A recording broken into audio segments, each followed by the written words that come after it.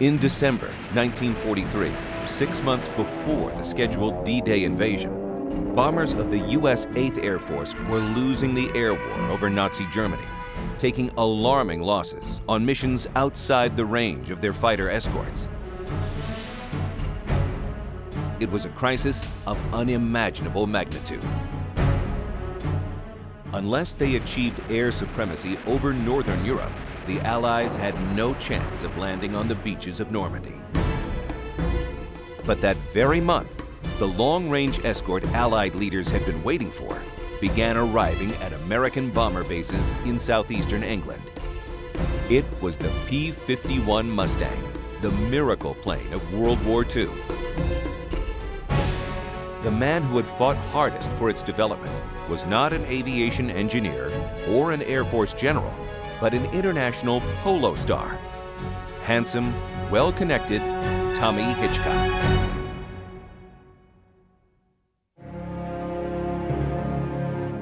In the summer of 1943, Lieutenant Colonel Hitchcock was serving as an American air attaché in London. Every week, he read with horror reports of American bombers being decimated on deep penetration strikes into Nazi Germany. As many as 60 B-17 Flying Fortresses, the first American bombers to arrive in England, were slaughtered on a single raid. The Fortress's heavy guns were no match for enemy fighters once the bombers crossed the German border. At that point, the Allied fighter escorts, their little friends, had to turn back because they lacked the range and fuel capacity to protect the forts all the way to their targets. Before the war, American aviation engineers considered it technologically impossible to develop a fighter plane that could go as fast and far as the bombers without losing their ability to defend themselves in aerial battles with the Luftwaffe, the most skilled pilots in the world flying the best fighter aircraft in the world the Allies had to find an answer, or the Nazis might prevail. In early 1942, months before American bombers began arriving in England, Tommy Hitchcock had begun a prolonged battle to provide Allied air leaders with the plane they needed to beat the Luftwaffe. Years earlier, in 1917, at the height of World War I, Hitchcock left St. Paul's, one of the finest private schools in the world, to join the famed Lafayette Flying Corps in France. He wanted to join the war. He was 17 years old. The Americans wouldn't take you in until you were 18, so Teddy Roosevelt was a great friend of my, my grandfather, so they arranged for Daddy to join the French aviation. Hitchcock loved flying and flew aggressively until March 1918 when he was shot down over Germany. Seriously wounded, he endured months as a prisoner of war before concocting a daring escape, leaping from a moving train and walking a hundred miles to neutral Switzerland. Following the war, Hitchcock enrolled at Harvard, then Oxford University, where he fell in with members of Britain's top families.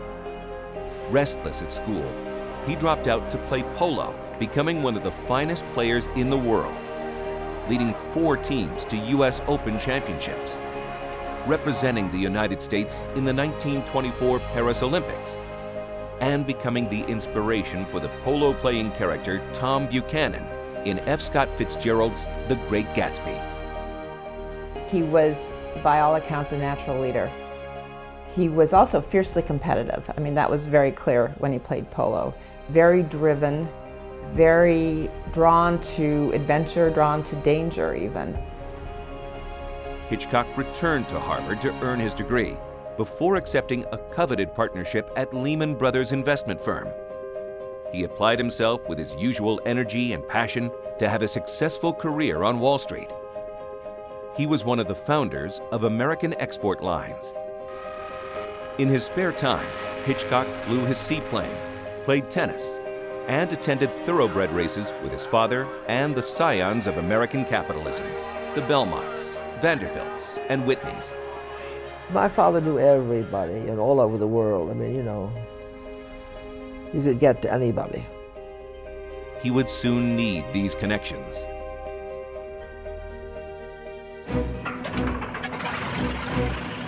When the United States entered World War II, Hitchcock had one desire to become a fighter pilot. Too old for combat duty, he accepted a post as Assistant Air Attache to the U.S. Embassy in London, where his old prep school teacher from St. Paul's, Gil Winant Sr., served as ambassador to Great Britain. In the spring of 1942, Hitchcock visited a fighter airfield in Duxford, England. The British were testing an early version of the P-51 Mustang, an American fighter plane built for the Royal Air Force. The P-51 was faster and had longer range than the current workhorses of the RAF, the Spitfires and Hurricanes. But its underpowered Allison engine made it unsuitable for high-altitude flying. The British instead used the P-51 as a low-level tactical fighter, providing cover for tanks and ground troops in North Africa.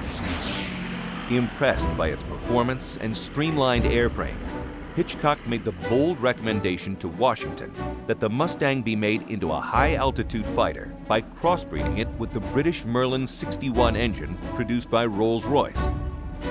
Meanwhile, Hitchcock moved ahead in Britain to test the modification and transformed the P-51 into a sensational high-altitude aircraft.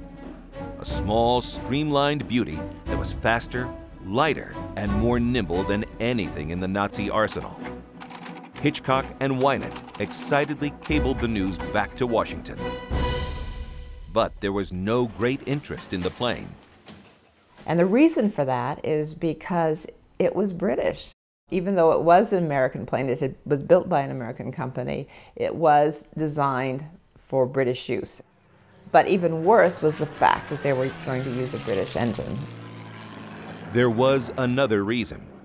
Early in the war, General Hap Arnold, head of the American Army Air Forces, believed that his state-of-the-art bombers, flying in tight combat boxes, could muscle their way to enemy industrial sites without the aid of long-range escorts.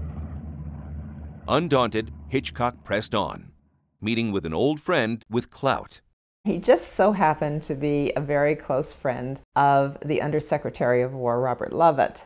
They had known each other since they were young pilots uh, in World War I. Lovett immediately recognized the P-51 Mustang as a superior machine and placed an initial order for 2,200 planes in 1942. Not nearly enough, but it was a start. Still, the Army Air Forces dragged its feet. The plane wasn't a priority. Losses over Germany had not yet become catastrophic. Hitchcock persisted. Hitchcock ramrodded it through. He was visiting the factories where they were being made. He was putting pressure on people in Washington to speed up the mass production of these planes. In a letter home to his wife Peggy, Tommy Hitchcock summed up his efforts with characteristic modesty, writing, In some way, I am doing some good. Hitchcock's work finally paid off after the Regensburg-Schweinfurt raid of August 17, 1943 in the largest American bombing mission of the war up to that point, the 8th Air Force lost 60 fortresses and 600 flyers. Suddenly, Arnold was deeply interested in the Mustang and ordered the plane in great numbers. In the early winter of 1944, the Mustang, equipped with extra fuel tanks on its wings, began escorting bombers on long-range missions all the way to Berlin. The results were immediate and devastating for the Luftwaffe.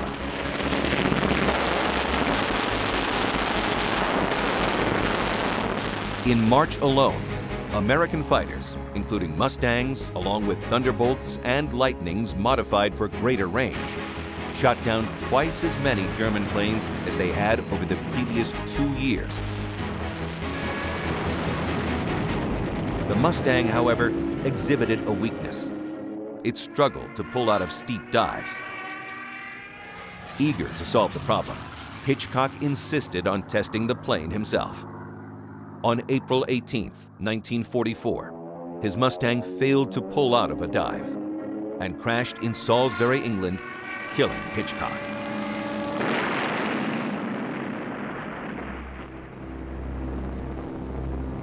One month later, with the dive issue fixed, the Allies achieved the air supremacy considered indispensable for the invasion of Hitler's Fortress Europe.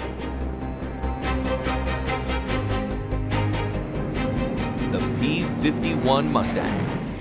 Tommy Hitchcock's dream was a war-winning plane.